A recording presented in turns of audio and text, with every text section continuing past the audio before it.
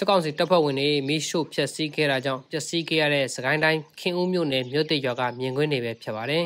။ပြီးခဲ့တဲ့ဧပြီလ26ရက်နေ့နဲ့28ရက်နေ့မှာနှစ်ရက်ဆက်တိုက်တိုင်တိုင်စစ်တပ်ကရွာကိုမိတင်ရှို့ခဲ့တာပါ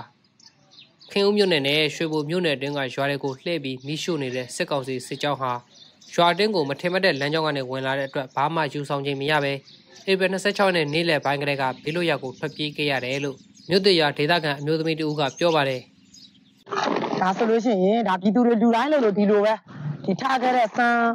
ဒါဒါဒါဒါကော်ပီတော့ဒါကော်ပီတော့ကစပြီးသူတို့ရက်ဆက်မှုကတော့အကုန်အကြိုကြားအစအကြိုကြားအစထပြီးစားကုန်တောက်ကုန်အစဒီလိုရှို့သွားပါတယ်အင်အား150လောက်ရှိတဲ့စစ်ကောင်စီစစ်ကြောင်းဟာစကိုင်းတိုင်းခင်ဦးမြို့နယ်နဲ့ရွှေဘုံမြို့နယ်တွေကရွာတွေကိုနေ့စဉ်မိရှုဖျက်ဆီးခဲ့တာပါဧပြီ24ရက်နေ့ကနေဧပြီ28ရက်နေ့ထိ9ရက်တာကာလအတွင်းစစ်ကောင်စီတပ်ရဲ့မိရှုဖျက်ဆီးမှုကြောင့် ရွှေဘုံမြို့နယ်နဲ့ခင်ဦးမြို့နယ်တွေကအင်ဂျင်900ကျော်မီးလောင်ခဲ့တယ်လို့ဒေသခံတွေနဲ့ကာကွယ်အဖွဲ့တွေကပြောကြပါတယ်အင်ဂျင်900လောက်ရှိတဲ့မြို့တရွာဟာလက်ရှိမှာမိရှုခံရမှုကြောင့်နေအိမ်ပေါင်း400ကျော်ပျက်စီးသွားခဲ့ပါတယ်ရွာတွေကအိမ်အများစုဟာမီးလောင်ပျက်စီးသွားတဲ့အတွက်ဒေသခံတွေဟာနေဆက်ရဖုံးကျောင်းတွေမှာခိုကပ်နေရပြီးကိုကြီးထောက်ပံ့မှုတွေလည်းလိုအပ်နေကြပါတယ်။ဒီမှာတော့စိတ်ဓာတ်တော့ကြင်ကြင်ခိုင်ထားတာပေါ့ကိုယ်စိတ်ကိုခိုင်အောင်ထိန်းရမှာကိုရဲ့ ဖြစ်တယ်လို့ပြီးတော့ပြီးတော့ဒဲလီခါပြီးတော့စောက်ရောက်နေရမှာပါခုလောလောဆယ်တော့တော့ဘာမှတော့ဝါစီလေးဥပါ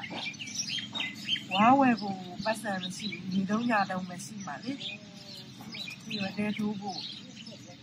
ခုတော့သူများရွာလာပို့တဲ့ထောက်ပံ့တဲ့သမင်းတော့ကြီးစားနေရပါသူတို့တော့ဒီလိုကြီးဘဝပြအောင်လုံးမှာတော့ ဒီတော့မရှိတတ်ဘူးပါဒီနဘူးပါကူ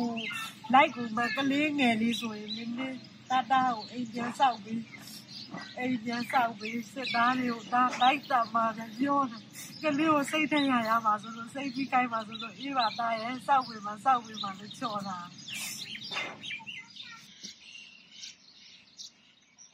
စကိုင်းတိုင်းအတွင်းမှာစစ်ကြောင်းထိုးနေတဲ့စစ်ကောင်စီတပ်ရဲ့နောက်ထပ်စစ်ကြောင်းတစ်ကြောင်းဟာစကိုင်းမြို့နယ်အနောက်ချမ်းကရွာ900ကိုမိရှုဖျက်ဆီးခဲ့တာကြောင့်အိမ်900လောက်လည်းပျက်စီးခဲ့ရပါတယ်။ကုလသမဂ္ဂလူသားချင်းစာနာမှုဆိုင်ရာညှိနှိုင်းရေးရုံးရဲ့ဧပြီ6ရက်နေ့ထုတ်ပြန်ချက်အရစကိုင်းတိုင်းတစ်ခုထဲမှာပဲဒုက္ခသည်ပေါင်း9သိန်းခွဲခန့်ရှိနေပြီးတော့လူသားချင်းစာနာထောက်ထားမှုအကူအညီတွေလည်းလိုအပ်နေတယ်လို့ဆိုထားပါတယ်။